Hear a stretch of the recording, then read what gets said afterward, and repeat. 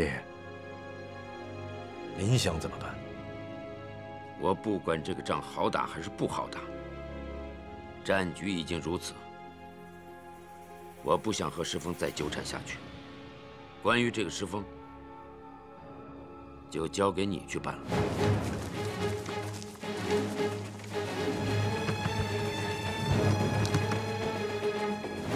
很遗憾，今天的谈判结果是这样的。但是既然我们双方都不肯让步，那咱们就只能战场上见了。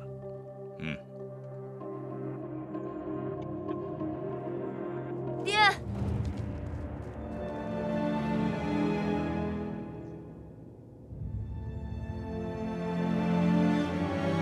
爹，我爱黄夏。石峰是他喜欢的人，所以我不能杀。我不能用这种手段去赢得我爱的女人。你这样会把命玩掉的。第九战区司令长官部命令我十八军把驻地交给新接防的部队，即日奔赴湘西，平息湘西事态。少两箱吧。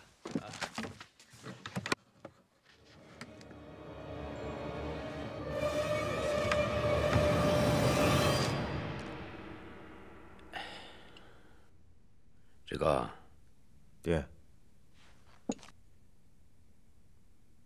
最近都忙些什么呢？也没什么，空的时候就去书院转转，找些感兴趣的书读。最近都读了些什么书？训练之余看了几页《曾文正公家严钞》，那是本好书，梁启超编的，其中收录了不少带兵练兵的经验，是一本好书。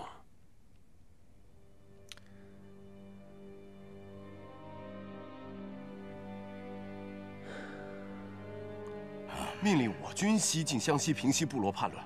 这，这杀鸡焉用宰牛刀啊！就是啊，啊，部落叛军就是一帮乌合之众嘛！啊，冉天明堂堂的三万人马都对付不了，这成何体统啊！切！啊，冉天明冉司令当时是多么神勇啊！啊，难道在山沟里待的连仗都不会打了？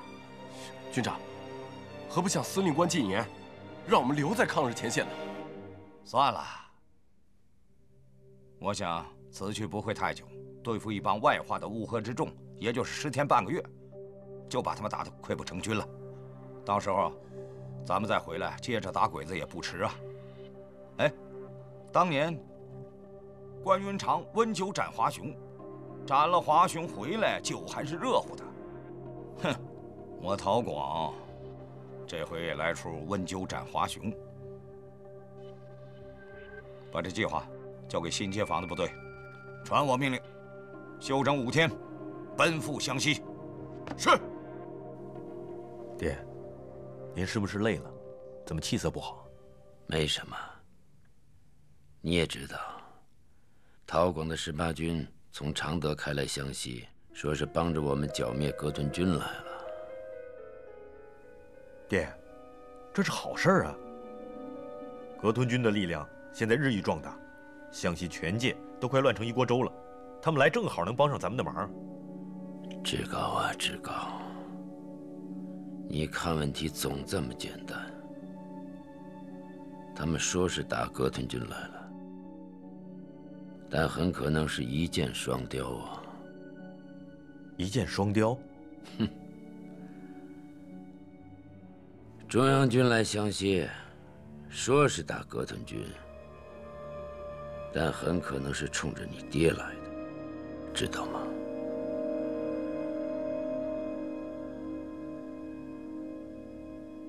爹，我觉得不会吧。但愿是杞人忧天。这中央军来湘西，哼，请神容易送神难呐。这历来是老蒋对付地方军阀的老招了，屡试不爽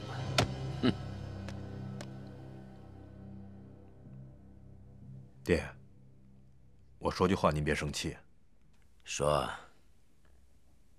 现在国难当头，咱们是不是也别总盯着自己碗里的那点利益啊？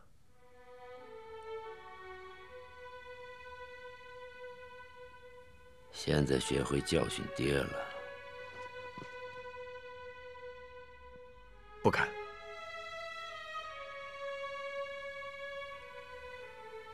长大了，哼，也罢也罢，要来的挡也挡不住。我这湘西王也干了二十多年了，打了这么多年的糊涂仗，也算是干到头了。爹。你回去吧，爹累了。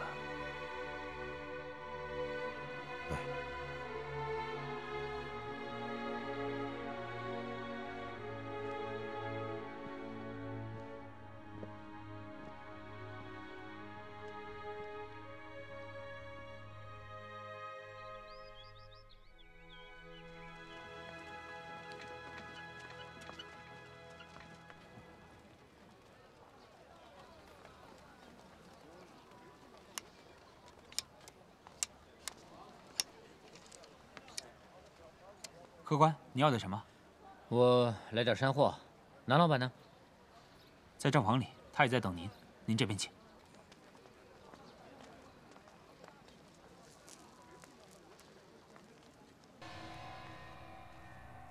南云君，只要拿下常德，湘西唾手可得。你我潜伏湘西这么多年，为什么？不就是为今天吗？对了，部落军那边也有了新的消息。驻守在常德的中国第十八路军陶广部，也被调来了湘西。陶将军，这是我湘西特有的包谷烧，我敬你一杯。来来来来来，带上我吧。嗯嗯，味道如何？嗯嗯，不错。来，上酒。陶将军。你来了，我就有主心骨了。说起来不怕笑话，这一年来，葛屯军攻城略地，脚不胜脚，嗯，让我伤透脑筋了。如今陶将军来了，我这颗心算是彻底放下了。是啊，陶将军，我就是个专员，我也是被这帮人搅和的寝食难安呐。嘿呀，嗯，您看，陶将军您一到，这湘西，我相信不日可以平定。此乃湘西之幸啊，也是冉司令你我之幸，哎，更是国家之幸。哎，冉司令宋专员过奖了。当此乱世，我陶某作为军人，只是奉命行事。说起来啊，我还真不愿意来湘西呀。哦，为什么呀？湘西是冉司令的地盘啊，我陶广岂敢染指啊？陶将军玩笑了。你来，我是真心欢迎了。那是那是啊！哎，说我不想来湘西呀，这也是真的。长沙两次会战以来，日军已经被打回到新墙河以东，如今又集结在岳阳一带，兵锋直指湘西门户常德。要不是你，湘西事态严重。我能调到这儿来吗？都是冉某无能。哎，哪里哪里，冉司令，你是能征惯战之将才也。三万雄兵都无法平息湘西事态，可见这部落军也不是那么好摆弄啊。是啊。二位不必忧虑，只要我们同心协力，势必扫清匪患。还湘西一片净土，太好了，陶将军，我敬你一杯。来，来，好。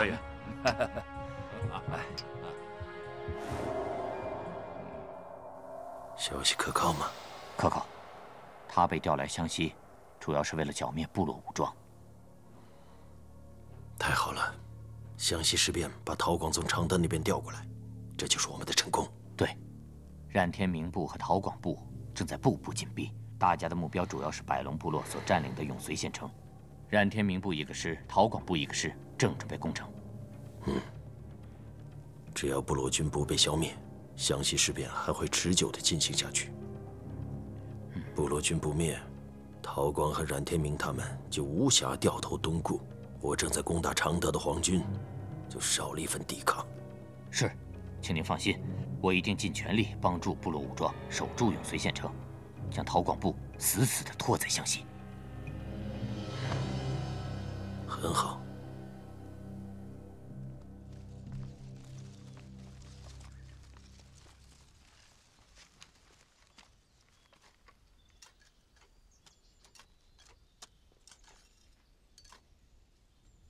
黄伯伯，哎，你说陶广这老小子，葫芦里到底卖的什么药？大军来了十几天了，一枪也不放。这他跟冉天明的实力，拿下永绥县城可是分分钟的事情。他为什么呀？我估计他们还没有准备好。陶然，你说呢？嗯，是啊。陶广那小子要是一来就动枪动炮的，弄出点动静，那倒也没什么可怕的。石峰说的对呀，这里面一定有名堂。官军恐怕是要把咱们困在永绥县城里。不行，我得亲自确认一下。镇定太根，你们先回去休息，晚上咱们亲自去看看陶广那老小子想干什么。啊，行行，正好我手痒痒了，走走走了。感谢二位盛情款待呀！常德战事在即，我这酒喝的都不过瘾呐。陶将军，国家内忧外患，我作为一个地方军政长官，愧对党国，愧对国家。陶将军，你一定要多帮帮我。天明兄，你放心，区区部落叛军何足挂齿啊！啊！大军所到，必犁庭扫穴万无一失。是啊，是啊。陶将军，来，我再敬您一杯。好，来来来来来来。好好好。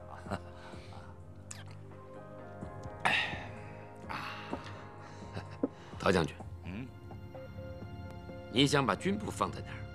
有什么要求，尽管提。还是天明兄老了，想得周到啊！你看这样吧，元陵离常德不远，我就把司令部设在元陵，这样西可以剿灭匪患，东可以支援常德，你看怎么样？我奉命就是。好，干！来来来来来来来来来来来来来来。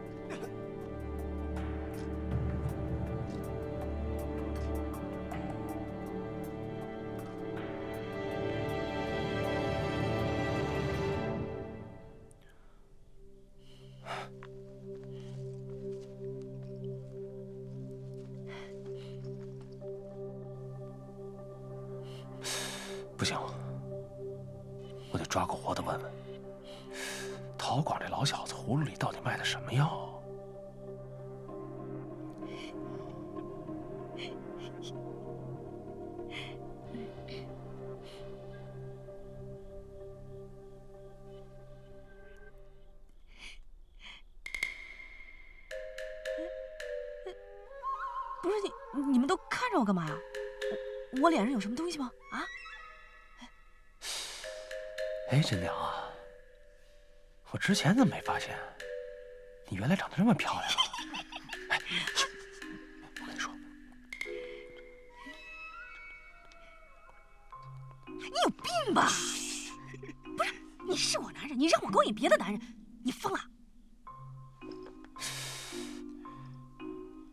到底是去还是不去？不去。我最后再问你一次，你去还是不去啊？不去。嘘。秀儿，你去吧。不不，我去。你去，你确定去？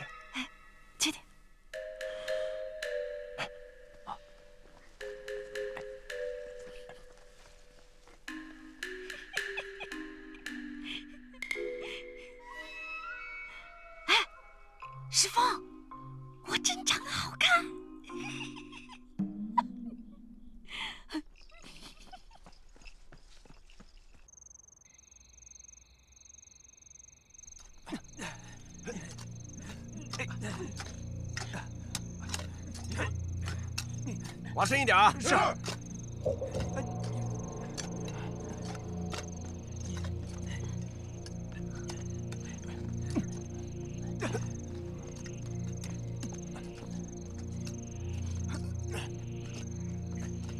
加把劲儿！站住！站住！啊，老总，那个我娘家哥哥病了，我想出城看看他，行吗？不行，这里禁止通行。就让我出去一趟吧。干什么呢？啊，呃，老总，呃，那个我娘家哥哥病了，我想出城看看去，行吗？不行，任何人不得出入。啊，呃，老总，你说我走了这么远的路来，前头就是了，你就让我去吧。哎呀，妹子，看你长得还挺漂亮的。但是啊，上头有交代，我们担不起这个责任呢。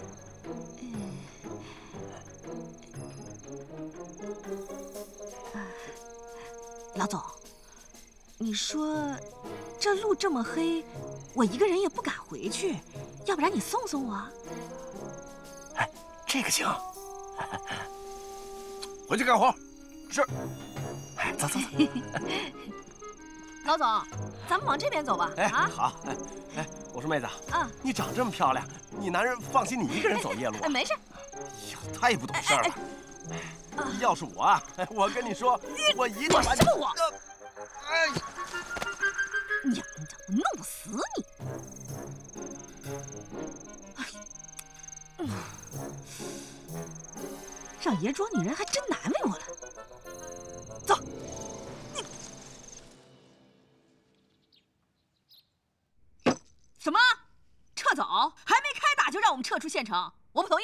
是啊，一枪不打就放弃县城，我也不同意。你们俩听我说，昨天晚上我连夜审了李排长，他跟我说，陶广和展天明迟迟没有进攻的原因是，保卫县城的工事没有做好。那么，我们一定要在他们设好圈套之前，撤出县城。我同意总指挥的想法。嗯，我们不能死守一座孤城。可咱们这么多人，怎么撤出去啊？是啊，到底怎么撤呀？我有办法。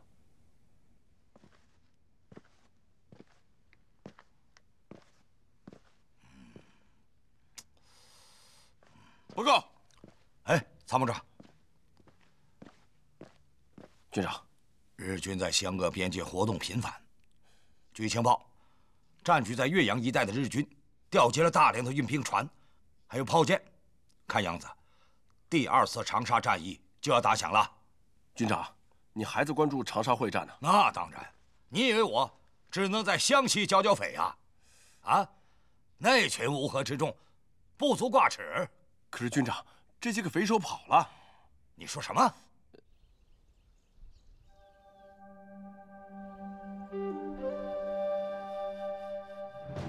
咱们这次呢，成功突围，回到了雪峰山。但官军肯定是不会善罢甘休的。我猜过不了多久，他们一定会对雪峰山进行围剿。大家不要太悲观了。我们虽然撤离了县城，但是队伍还在，这就是胜利啊！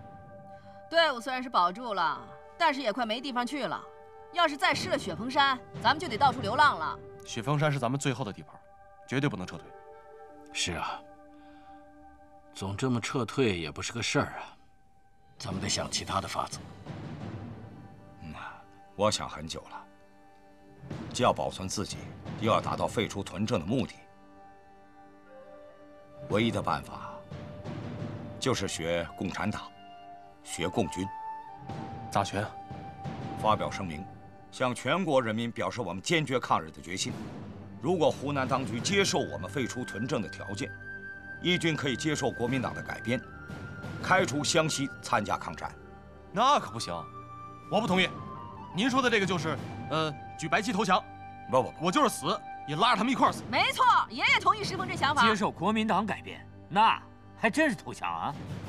哎，好了好了，呃，黄先生说的我有同感。我们起事的目的是什么？不就是争取政府废除屯政吗？只要这个目的能达到，就是胜利。日本人已经打到我们家门口了，我们当然可以和国民党政府周旋到底。可如果这样做，高兴的是谁？是日本人。湘西一乱，日本人就可以趁虚而入。大家都别忘了，咱们湘西离陪都重庆也只有一千里的路程。学共产党红军，我看行啊。那也得看人家同不同意，咱别剃头挑子一头热啊。这是唯一解决问题的办法。以部落的实力，如果再坚持下去的话，会非常困难。至于真娘说的“剃头挑子一头热”的问题，这话说的有道理。不过，总得有一头先热起来，是不是啊？不是黄先生，你得说说具体的办法呀。具体的办法，就是以打促谈。怎么谈呢？要是能谈，部落还会起义吗？但是如果不打，咱们肯定是不行的。部落起义两年多来，打得屯务军丢盔卸甲，国民党政府知道了部落起义的厉害。这就为谈判具备了条件。不，黄先生，黄伯伯，你说的意思我明白了。你是说，仗还得打，而且是狠狠的打，打胜仗。对，打胜仗就鼓舞咱们的士气，也让他们知道，咱是不可能打败的。对，就是这意思。哎，这个办法好。两手准备，第一手打，第二手谈。有件事情我得说一下，谈可以。但我必须得杀了冉天明。石峰啊，报仇那是肯定要报的，但是我们不能鲁莽。我们起义的目的就是要解除部落的痛苦，废除屯政，争取民族的解放和自由。石峰，我爹说的对，如果仅仅是为了报你一家人的仇，而把整个部落的事业置之不顾的话，就太自私了。现在的问题是，找谁谈，怎么谈？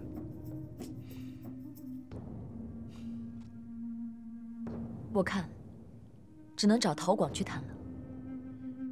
没错，冉天明是屯政的直接获利者，没有屯租，就不会有屯务军，没有屯务军，冉天明就没有了脊梁骨。这些年，我们部落一直在向上面请求，废屯升科。可这些民意都被冉天明压着，无法上达中央，所以啊，只能找陶广去谈。陶广的军部住在元陵，怎么谈呢？再说了，陶广不是想见就能见的，那可是正规军的军长。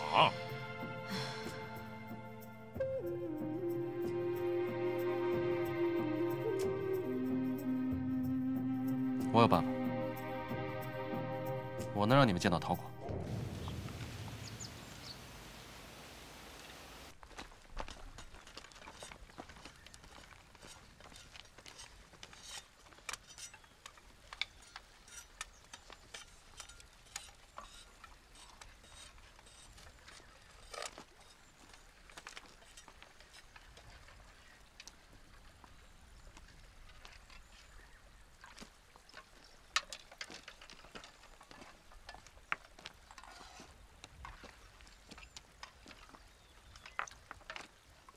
你们这是做什么呢？做毒箭啊！毒箭？对，也不能算是毒箭，最多就是种麻箭。这是咱们湘西的一种草药，叫夺魂草。先熬上，再把箭浸上。咱们打猎的时候啊，经常使用这种箭。你说小动物一箭下去还行，大一点的猛兽啊，就得使这种箭，得把它麻倒。这个可以当麻醉药用啊，算是吧。咱们治伤的时候也使这个，可以止痛。人要是中了这种箭啊，得睡一两个时辰都醒不过来。咱们这次去园林啊，还得靠这个。阿丽卡，你跟他在这说什么呀？赶紧弄完，弄完了那个，呃，晚上天黑之前必须弄完啊。真娘。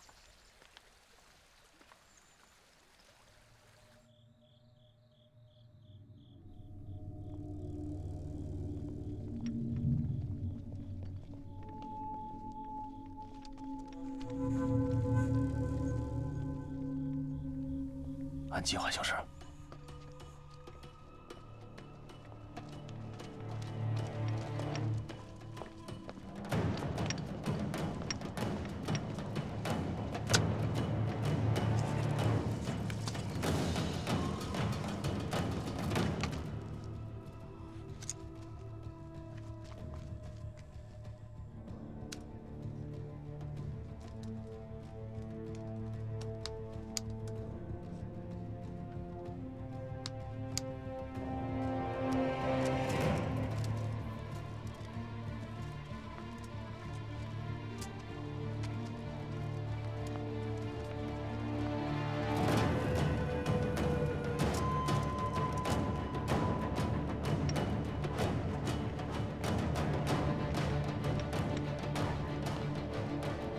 军长，我已布好兵力，准备围剿逃窜的匪首。非常好，不过杀回承德和日本人干那才是正事儿。军长大将风度啊！呃，那个宋专员送了我一副好棋，咱俩下一盘。呃，好。一张一弛，兵家常事嘛。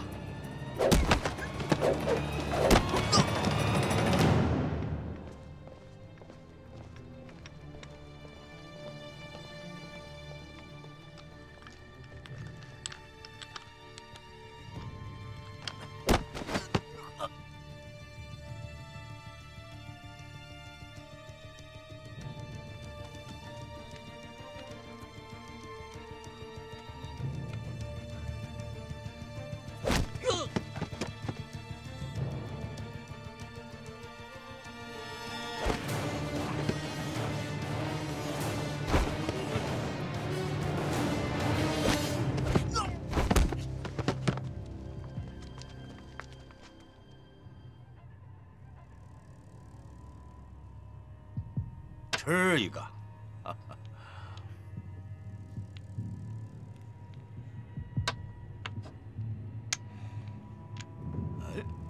请。军长的棋艺果然无人相背啊！你怎么有长进呢？啊！参谋长，认输了没有？啊？垫上。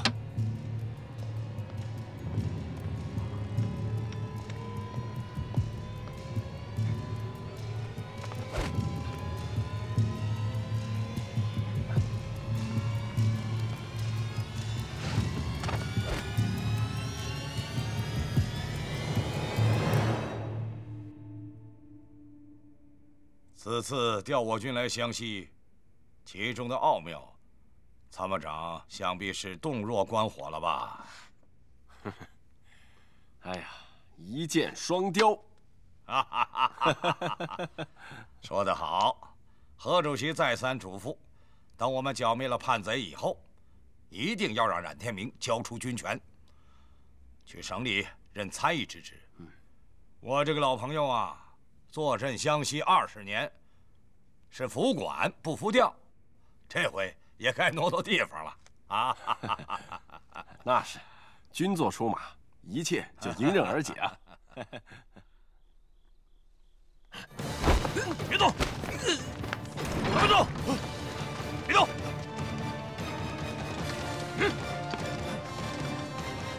都别开枪！你什么人？湘西屯军百龙部落首领石峰。你就是石峰啊！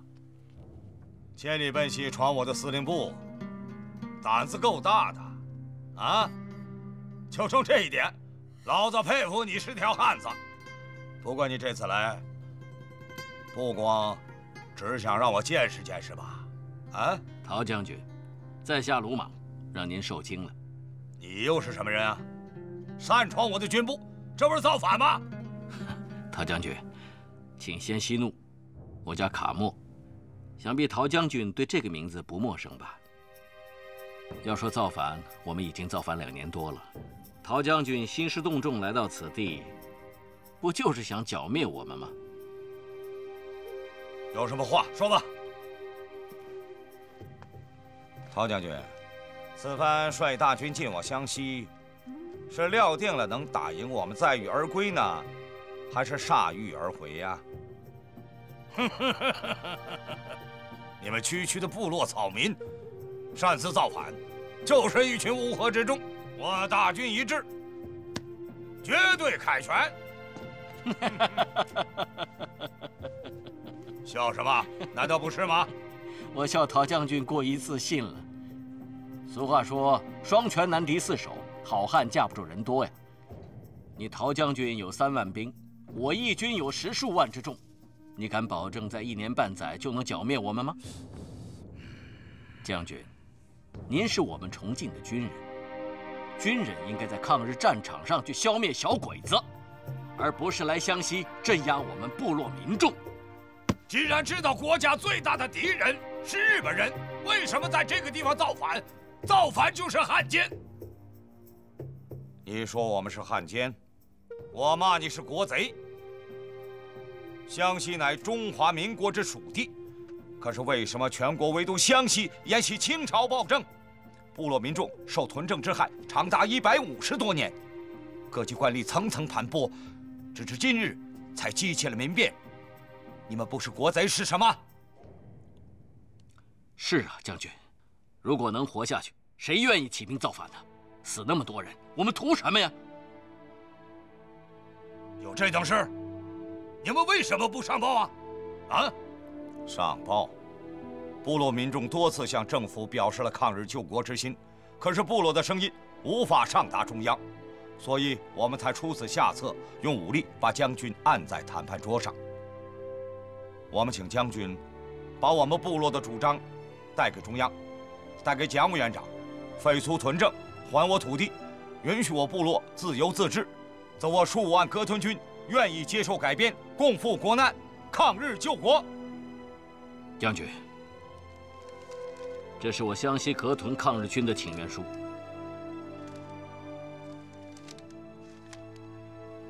要是政府不接受呢？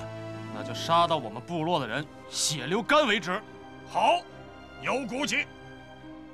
你们的情况我已经了解了，我经过核实以后，会通过专门渠道向重庆。向蒋委员长汇报，给你们一个合理的答复。你们可以走了。不行，空口无凭，立字为据。哎，你，我大大小小也是个军长啊，吐口唾沫是个钉，你还信不过我吗？陶将军，不是信不过你，只是我们一朝被蛇咬，十年怕井绳啊。以前的事情让老百姓可伤透了心了。你说，陶将军，如果你不写个字据，我们回去怎么向部中交代呀？又怎么化干戈为玉帛呀？好，好，好，我明白了，明白了，啊！王先生，这回放心了吧？嗯，多谢陶将军，希望不久将来我们在抗日战场上见。好，好，好，参谋长，派几个弟兄送他们出城，不许为难他们，啊！哎，等等，他得留下。我为什么要留下？难道你要请我喝酒啊？是啊，你不能想来就来，想走就走啊！来人，备酒。是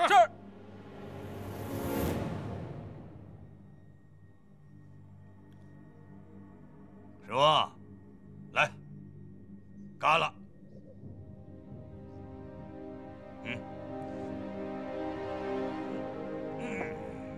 好，男人嘛，啊，玩刀玩枪像个男人，喝酒也得像个男人呐！啊！我就喜欢你这个劲头。哎，小子，小子，我看你就不像怂人，别回去了，跟着我干怎么样？跟着你干？啊，跟着我干。我给你弄个排长，不不不不，我给你弄个连长，怎么样？连长，我才不干呢。为什么？我有我自己的队伍，我凭什么跟着你干？你怎么死心眼儿啊你？啊！你成心打我脸呢？你这是？按照十八军的规矩，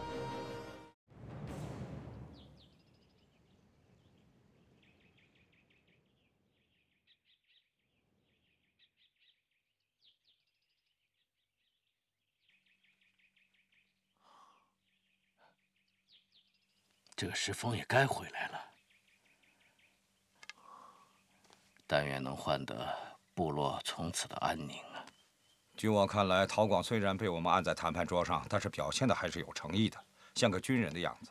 但是古语说：“兵者诡也。”我们要防着陶广耍什么花样啊？